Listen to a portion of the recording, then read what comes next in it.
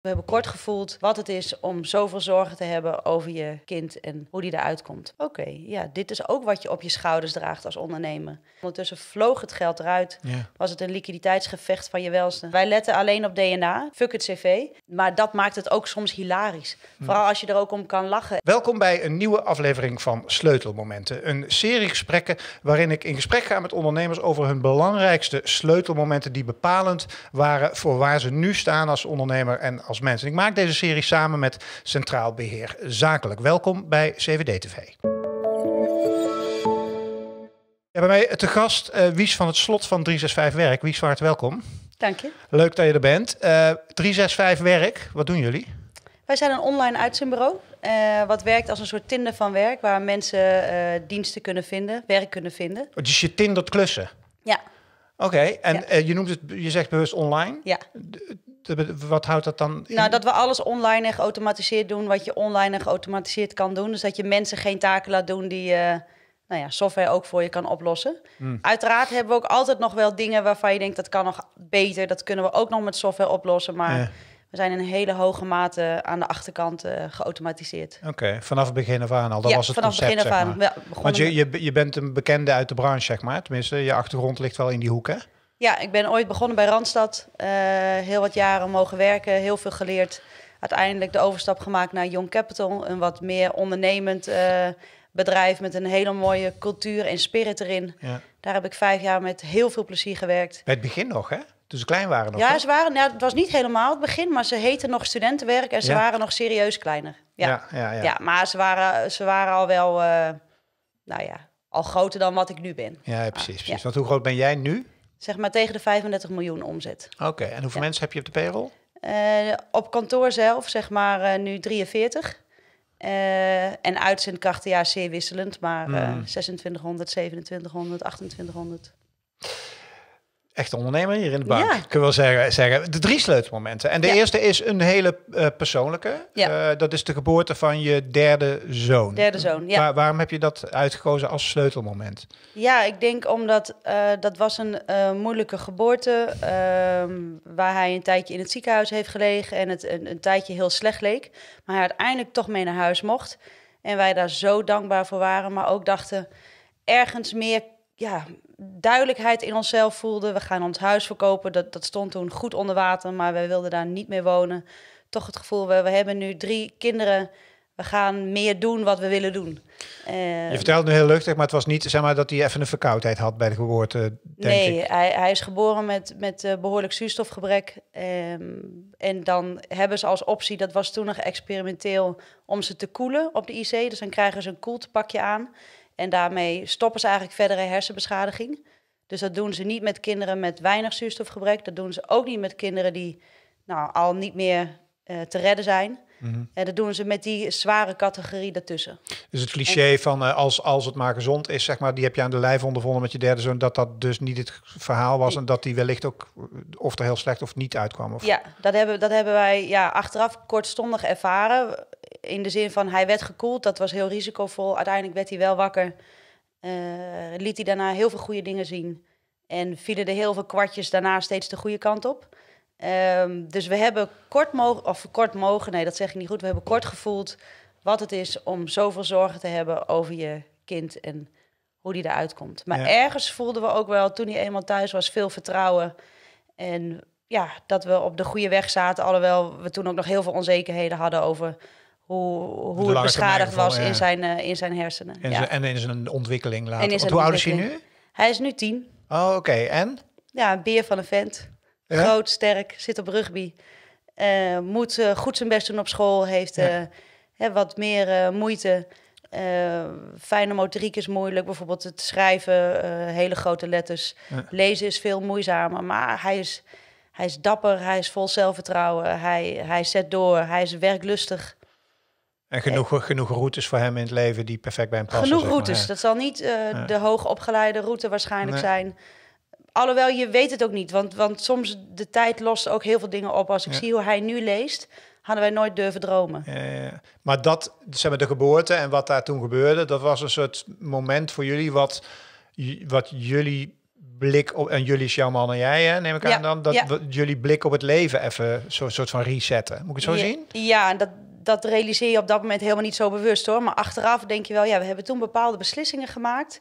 Wel met het gevoel in je van, nou, het maakt niet uit eh, hoeveel geld we hebben of hoe we hier uitkomen. Wij gaan hier gewoon weg en dan redden we ons wel weer. Ja. We nemen onze drie kinderen mee.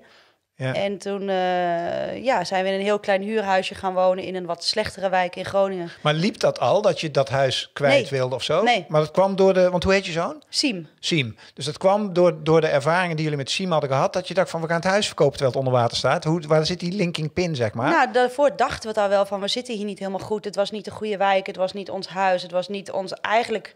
Ja, het voelde gewoon niet helemaal goed. Dat, dat kon helemaal niet. Mijn man zei steeds tegen mij, doe eens normaal, we wonen hier net. En Het is niet zo slim. gewoon niet zo slim. Het staat nogal onder water. Ja, het staat onder water. Het was een slechte tijd. Toen we het kochten, zei iedereen... nee joh, een nieuw huis eh, maak je nooit verlies op. Maar eh, dat hebben Ja. wij toch even wel gedaan. En ja, dus dat je, dat je daarna gewoon denkt van... ja, zijn woorden die ik niet mag gebruiken, nu zal ik niet zeggen. Maar ja, boeien dat huis en de, al dat spaargeld. En we moesten nog wat geld lenen van mijn moeder en haar man... om uiteindelijk eruit te komen. En daarna gingen we in dat hele kleine huurhuisje... en voelden we ons al veel gelukkiger omdat je dus je eigen pad volgt. Omdat het niet is wat je denkt, ik zit vast in het huis, we moeten hier tien jaar blijven wonen. Maar omdat je denkt, nou, we gaan het toch voor elkaar krijgen. Want wie weet, is het voorbij, is het zo voorbij met de een of met de ander. Het is een En we gaan het in ieder relativering geval van. nastreven. We gaan Ja, ja. het najagen. Dus eigenlijk heeft Siem gezorgd voor een soort vrijheid in je hoofd dan of zo? Of, of wat, wat ja, wat meer de- keuzevrijheid, meer eh, dat de rest minder belangrijk is. En dat waar je eh, je wens, dat je die best mag najagen. Ook al moet je dan eventjes door een fase van eh, geen vakanties, niet meer uit eten of weet ik veel, om even weer financieel weer op adem te komen.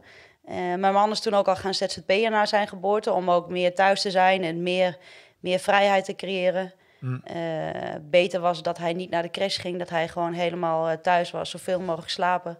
Dus dat, ja, dat hebben we toen gedaan. Dus toen kwamen wel wat veranderingen. Hoe reageerden de andere twee kids zeg maar, op Siem? Nou, gewoon kinderen, no mercy beleid. Dus eh Die werd niet anders behandeld dan nee, anderen. werd niet anders behandeld. Ja. Kreeg ook gewoon een trekker op zijn hoofd. En eh, ja, Ja, ja, gewoon eh, zoals het is. zoals het hoort. En eh, als derde denk ik dat hij daar ook geluk mee heeft met twee broers. ja. Oh, je hebt ook drie zonen? Ja, drie Oh. zonen. Ja. Oh, wat grappig. Ja. dus, ja, en hij is groot en sterk, dus we hoeven ook nooit bang voor hem te zijn. Hij Nee. kan zijn broers aan als hij wil. Ja, ja, goed hoor. Ja. Dat was het eerste eh, eh, sleutelmoment. Eh, wanneer is 365 werk in beeld gekomen, zeg maar, voordat we naar het volgende sleutelmoment gaan? Ik werkte denk ik ongeveer vijf jaar bij Young Capital. Toen kwam ik in contact met, met twee investeerders die ook iets wilden met een online uitzendbureau. Eh, die waren ook al iets begonnen, maar dan meer in dienst van hun andere bedrijf, een groot schoonmaakbedrijf. Ehm, ja, en toen, ik had al heel erg de gedachte om te willen ondernemen, te gaan ondernemen, om toch uit loondienst te gaan, nog meer je eigen ding na te jagen, je eigen ideeën te kunnen volgen over hoe je een bedrijf opbouwt, over de cultuur, over hoe goed je het wil doen voor uitzendkrachten of opdrachtgevers. Dus ja, en dat, dat kwam toen bij elkaar. Toen was Siem, eh, denk ik, eh één, anderhalf en toen ben ik dat gaan doen. Ja. Hmm. Ehm, en wat is, hoe zet je zo'n eerste stap?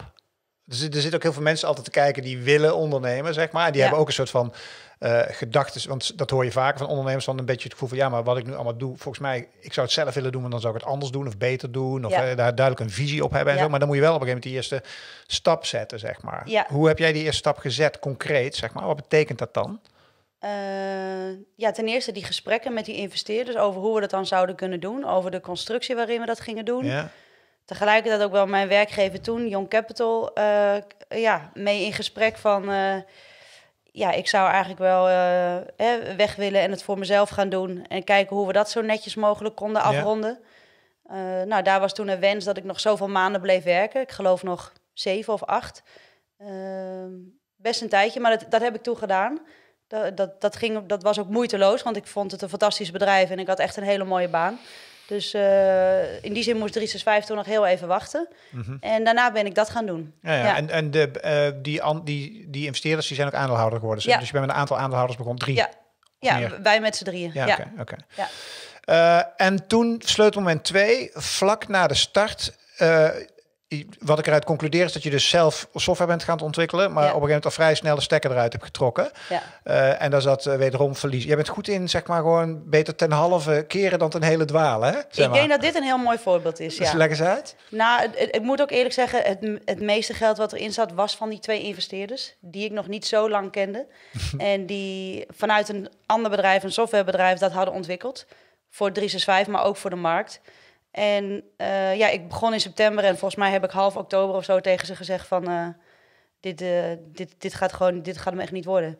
Hier- Terwijl een, voor gedeelte was hun waardering inbreng was ook hun software. Of ja, niet? Oké. ja, er zat nog wel meer software aan vast gelukkig, maar een heel gedeelte daarvan moest eigenlijk gewoon En jij zijn er anderhalve In mijn maand van... ogen eh, weg. Oké. ja, willen we groot worden en dit professioneel en goed doen, dan moeten we hier de stekker uittrekken. Pittig. dus dat was voor hun, maar daar hebben ze ook heel goed op gereageerd. Dus ja, ik kan het zien als mijn eigen sleutelmoment, maar ook zeker een moment waarop, je, waarop ik hen beter heb leren kennen. Ja. Ehm, ja, omdat zij ook zo erin zitten van ja, beter nou stoppen met dit verlies dan nog weer eh, een ton of twee ton of hè, Mm. bedragen erin stoppen en Ja. maar weer verder gaan met Ja. het risico dat, dat het voor 365 ook niet goed is. Maar wat betekent het voor jullie samenwerking in de zin van jullie rollen als aan? Want ik kan me voorstellen dat je een soort verdeling had van aandeelhouders, bla bla, die ook ge- gedeeltelijk gebaseerd was op hun inbreng. Ja. Lees hun software inbreng. Ja. Was dat ook een moment dat je daarover moest gaan praten? Nee, dat niet. Nee, dat niet. Een gedeelte van die software bleef ook staan, die bleven we gebruiken. Ja, dit was meer, ja, sorry, je wins om je loons. Om, hè, dit, dit, dit moest eruit, maar dat was niet meteen voor mij het moment om te praten over, eh, over de aandelen. Eh, wel, eh, ja, dat zij meebewogen om die stekker eruit te trekken, om over te gaan naar een ander softwarepakket. Eh, en zij bleven was. met het probleem achter ook in dat softwarebedrijf. Hè? Ja. Dus ja, En dus wel een bestaand softwarepakket daarna gekozen? ja. Oké. En wat maakte die software zo veel beter? Zeg maar, wat zijn de kenmerken van software waar je wel de oorlog mee wint? Zeg maar? Nou, kijk, je, je hebt, je hebt heel veel soorten software natuurlijk. En dit was het verloningsgedeelte. Dus we Aha. hebben nu een extern verloningspakket. Dat kun je zien als een blok beton. En ik wou ook dat het een heel goed blok beton was. Dus het is niet flexibel, je kan het niet aanpassen, geen maatwerk. Maar het doet precies wat het moet doen. Volgens wetgeving, regelgeving, eh, eh, premies, afdrachten, eh, goede rapportages. Dus dat je zeker weet dat dat gedeelte Ja. tot op de zoveel cijfers achter de komma altijd klopt. Wat voor jou nogal cruciaal is in jouw business. Wat nogal belangrijk is in mijn business om door, hè, we zijn meteen ABU gecertificeerd geworden, de grootste brancheorganisatie. Dus je wil het ook goed doen. Je wil het niet Ja. alleen doen, maar je wil het goed en netjes doen. Ja. En eh, dus alle software aan de voorkant, wat de wereld ziet, hebben wij zelf nog steeds. En de portalen van de uitzendkrachten en de opdrachtgevers en de site, et cetera, daar heb ik een heel development team voor. Maar aan de achterkant hebben wij koppelingen met allerlei partijen. En deze blok beton eh, is er één van. Ja, ja. Ja. En waarom was het zo'n bepalend moment voor, eh, zo beschreef je het eh, van in de mail die je me stuurde, was echt, echt bepalend geweest voor het succes van het bedrijf? Ja, dat weet je natuurlijk nooit helemaal zeker, want je hebt geen controlegroep hoe het anders was gegaan. Mhm. Maar ik denk, wij waren niet door de controles heen gekomen. We hadden problemen gekregen met, met pensioenfondsen of met de Belastingdienst of met, hè, met eh, instanties, omdat het gewoon moeilijk was om precies de goede afdrachten eruit te krijgen achter de komma. Dat was niet bewust niet goed, maar ja, een verloningspakket maken is gewoon niet niks. Mm. Eh, alleen al voor het bijbenen van veranderingen in wetgeving heb je misschien eh 30, 40 programmeurs nodig. Eh, Dus het was te ambitieus, het was te opportunistisch. Ja, ja, ja. Dus hoe het echt was gegaan, anders weet je niet. Maar ik, ik slaap heel goed bij het idee dat wij in dat blok beton zitten qua verlonen. Ja. Ja. Het heeft mij en ons geleerd dat ja, eigen software is prachtig. En daar geloven we ook heel erg in. Mhm. Alles wat de wereld ziet is van onszelf. En wat de wereld ziet heeft waarde voor de buitenwereld. Ja. Daarachter boeit het niemand. Nee. Hoeveel koppelingen je hebt, wat er allemaal... Dus dit, dit, nog nooit heeft iemand mij gevraagd... welk pakket gebruiken jullie om te verlonen? Nee. Nee. Dus het heeft geen waarde voor de buitenwereld om ook En dat dus zelf te maken. business, ja. Nee, dus de programmeurs zetten we in op taken die wel waarde Want hebben. hoeveel programmeurs heb je nu? Eh, nu negen. Oh, dat is best een team. Ja, dat is best een team. Dat is in verhouding veel voor de grootte van het bedrijf. Ja, is een groot innovatieteam. Ja, oké. Omdat er zo'n focus ligt op tech. Omdat er zo focus ligt op tech. Ja, omdat, omdat ik daar heel erg in geloof. Wij daar heel erg in geloven. Beschrijf eens wat ik dan als... Want, want op wie richt jij je qua eh, werk, zeg maar, qua mensen die werk willen? Wat voor mensen zijn dat? Ja, dat is toch wel heel divers. Mensen denken dat zijn alleen jongeren en studenten. Dat is toch niet helemaal zo. Hm. Want in de schoonmaak werken ook veel oudere mensen. In de produ- productielogistiek werken veel oudere mensen. En die bereiken wij ook op de manieren hoe wij werken. Hm. En die vinden de software die wij hebben ook fijn. Hè, dat het heel gebruiksvriendelijk, transparant is, snel. En dus ik. Dus het zijn niet alleen jongeren. Nee, precies. Maar ik maak. En, en wat is het verschil met als ik bij een Young Capital of een Randstad mezelf aanmeld? Wat is dan met name experience-wise het grote verschil als ik bij jullie kom? Dat kan zijn de snelheid, de gebruiksvriendelijkheid van het proces, hoe weinig stappen je hoeft te doorlopen. Dus met een mooi woord, de customer journey, Ja, ja. die we constant aan het verbeteren zijn. En via NPS-metingen, tevredenheidsmetingen uitvragen van hoe vond je dit punt, dat punt, dat punt, dat punt. Dus extreem kritisch zijn op ja, wat wij verwachten, wat de opdrachtgever en de uitzendkracht nog moet doen en wat we daar allemaal aan ballast uit kunnen halen. Mhm. Dus vriendelijk en snel. Ehm, heel transparant over eh, kostprijzen, over scholingspotten, over wat mensen hebben opgebouwd. Dus geprobeerd om de beetje soms black box van uitzenden wat eh, te openen. ja. Ehm, en dan uiteindelijk, als ze wel dienstverlening nodig hebben, dus appen, chatten, mailen, bellen, staan we er onbekend dat het heel snel is en heel eh, ja, vriendelijk. Dus we hebben een hele hoge NPS-meting voor deze branche. Hm. Dus eigenlijk zeg je daarmee, alles wat een mens niet hoeft te doen, los je op de software. En wat een mens wel moet doen, probeer je Ja. ook echt goed te doen. Ja, ja, precies. Ehm, dat, dat, dat bereik je ook omdat mensen aan de telefoon gewoon een hele hoge beslissingsbevoegdheid hebben. Ja. Dus die kunnen gewoon beslissen wat zij denken. Wat, die hoeft niet doorverbonden te worden, die hoeft niet te wachten. Er is geen tweede lijn. Helder. Dat is eigenlijk vrij simpel, maar wel... Ja, vrij plat. doeltreffend, ja, heel plat. Precies, Ja. Ja. en dan toch sleutelmoment drie. We hebben het er onderhand wel mee gehad, denk ik. Hè, want we leven nu 2022. Maar Ja. toch, eh, we hadden een paar jaar geleden hadden we een of ander virusje wat even voorbij kwam. Ja, Dat dat is er nog steeds. Dat hè, is, er, ja, dat is er nog steeds. In wat voor hoedanigheid moeten we nog even afwachten. Maar eh, fingers crossed. Ja.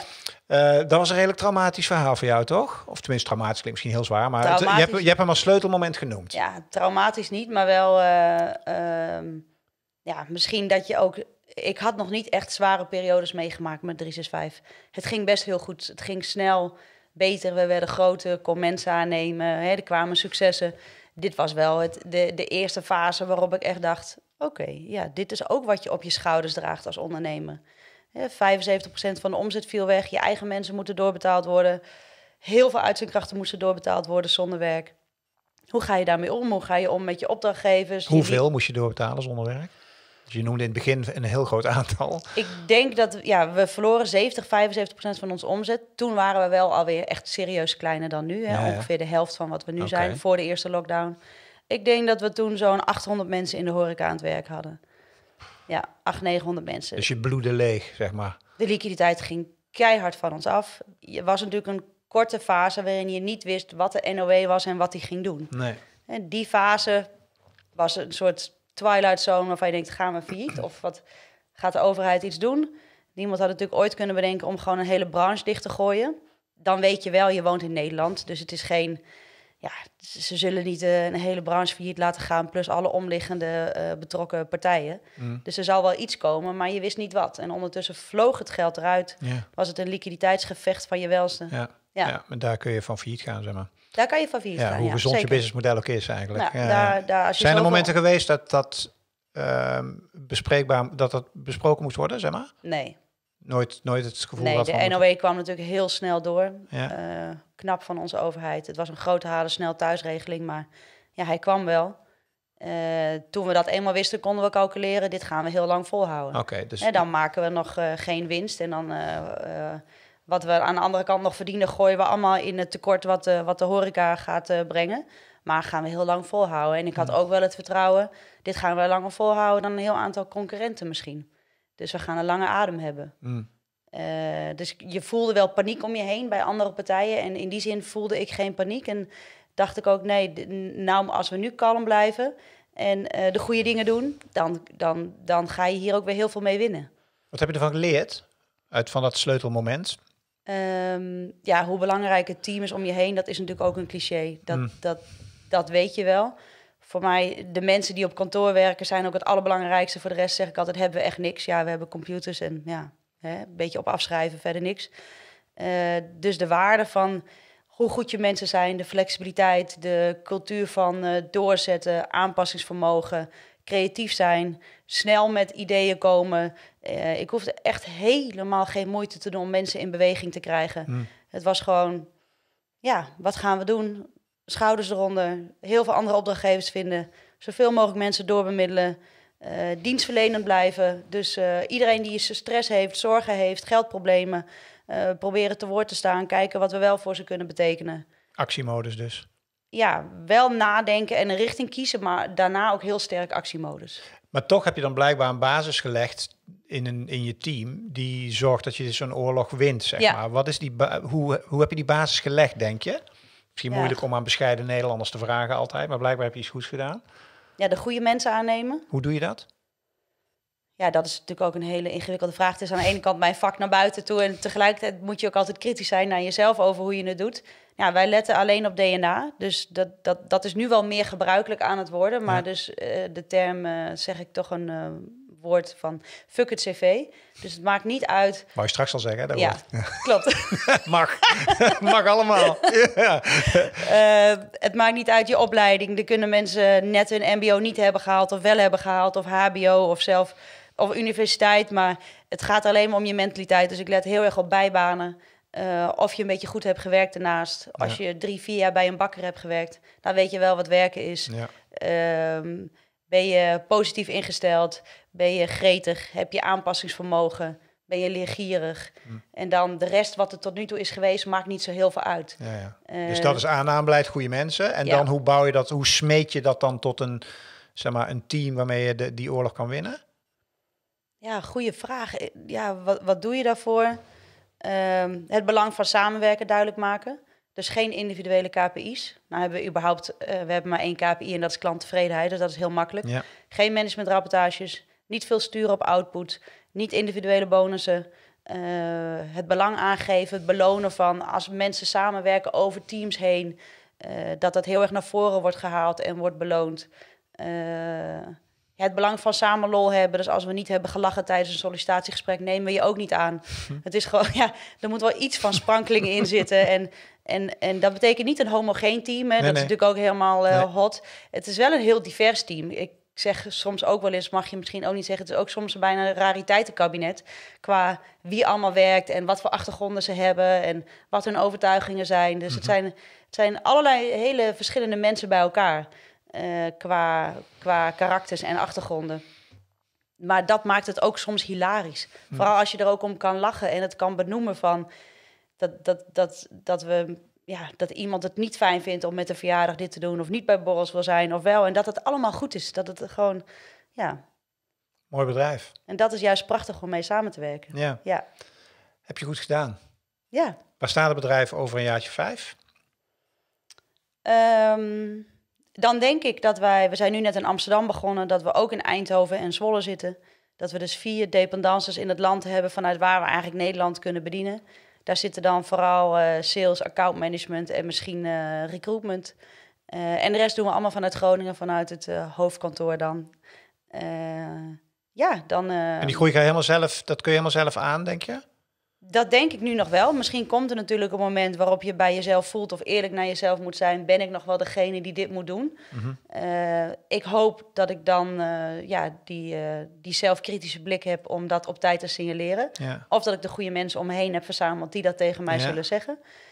Tot nu toe heb ik nog het vertrouwen dat ik het bedrijf zeker nog naar een hele volgende fase kan brengen. Hm. Ja, Hm. ik, heb, ik, heb altijd, ik heb ooit bedacht dat ik heel graag het zelf door de 100 miljoen wil brengen. Ehm, ja, dan moet ik nog eh, ongeveer drie keer zo groot worden. Ik denk dat het kan. Ja, Ja, je hebt het totdat het je hebt- tegendeel bewezen Je hebt is. het nog nooit gedaan, dus je denkt dat je het kan. Ja, ik denk Ja. dat het kan. Ja, maar eerst de pijlen weer zetten op, op, op 45 miljoen. Hè? Ja, Altijd precies. stapjes maken. Niet, niet, eh, ik ben ook heel pragmatisch. Hm. Het is gewoon stapjes vooruit maken, de goede kant op. En dan komt het uiteindelijk wel. Ja, Ik wens je daar heel veel succes en vooral heel veel plezier bij. Dankjewel voor jouw verhaal. dankjewel. En uh, dankjewel voor het kijken naar weer een prachtige aflevering uit de serie Sleutelmomenten, waarin we ondernemers eigenlijk portretteren aan de hand van een aantal uh, belangrijke sleutelmomenten. En wat ik in het begin ook al zei, ik doe dit samen met Centraal Beheer Zakelijk. En bij deze dankjewel Centraal Beheer Zakelijk, dat wij samen ondernemers en ik hoop jou ook een beetje verder mogen helpen. Dankjewel voor het kijken. Heb je geluisterd naar de podcast? Uh, dankjewel voor het luisteren. Laat je mening achter. Ik ben benieuwd wat je ervan vond. En zit je nou op YouTube, op CVD TV en je denkt, hé, hey, dit is wel een hele toffe serie. Uh, blijf even hangen. Over twee minuten een linkje naar de complete playlist met andere gesprekken. Voor nu, dankjewel. Hoi!